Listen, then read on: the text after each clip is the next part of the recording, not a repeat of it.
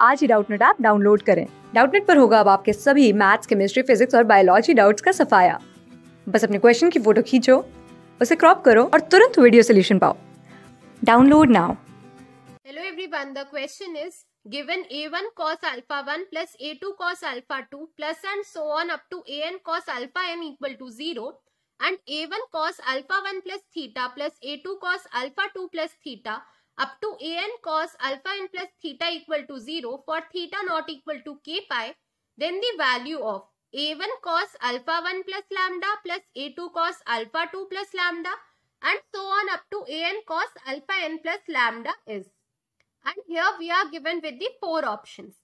So, first of all, if you see, I have cos of alpha 1 plus theta.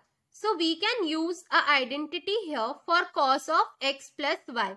So, cos of x plus y is equal to cos of x into cos of y minus of sine of x into sine of y. But if you see in the question, this y here is fixed. That is what theta. So in each of the term here, this for the first term cos theta will be coming in each of the term and in this term sine of theta will be coming. So what I can do here, I can take from the first term, let's say the given expression here is something s. So I can write here that this is equal to cos theta I can take common because cos y will be in each of the term here. So now the first term will be what? a1 into cos of alpha 1. Right. Now, I am not considering now sin x sin y term. We are just considering cos x cos y term. So, cos x terms will be coming and multiply by this coefficient. That means a2 cos of alpha 2. And this will go on up to an cos of alpha n. Okay, so cos x cos y we have written. Now minus of here again sine y will be there. That means sine of theta. And again what I will have? A1 into sine of alpha 1 plus A2 into sine of alpha 2 and plus and so on up to an sine of alpha n. Now if you see in the question, this term given to us, this value is 0 here. So what I can write here? See, this whole expression is also given to us 0. That is the value of s is given as 0.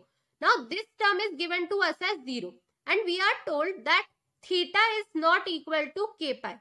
So, if theta is not a multiple of pi, that means I can write sine theta is not equal to 0 here. So, this first term is 0 due to this a1 cos alpha 1 term which is given to us in the question as 0. And we know that this sine theta is not equal to 0. That means this expression, which expression? a1 sine alpha 1 plus a2 sine of alpha 2 plus and so on up to an sine of alpha n.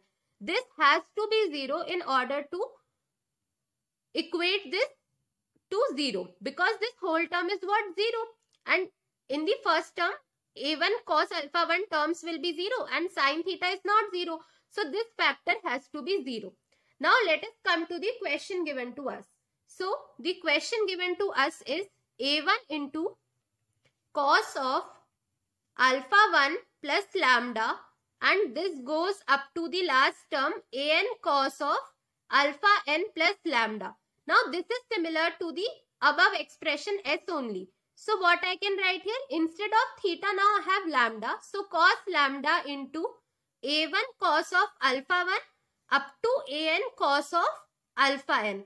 Again we will have minus sign and instead of sine theta now it will be sine of lambda. And again we will have a1 into sine of alpha 1 plus and so on up to an sine of alpha n. Now in the question we were given this a1 cos alpha 1 up to an cos alpha n 0 and again this value we have found to be 0.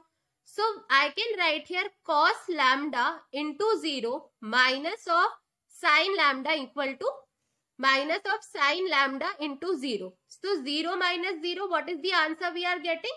0 here. That means option D will be our correct answer. So for this question here I can say that the correct answer is option D. Thank you. Class six से twelfth से लेके NEET I I T JEE mains और advance के level तक दस million से ज़्यादा students का भरोसा आज ही डाउनलोड करें डाउट नेट आप या व्हाट्सअप कीजिए अपने डाउट्स आठ चार सौ चार सौ चार सौ पर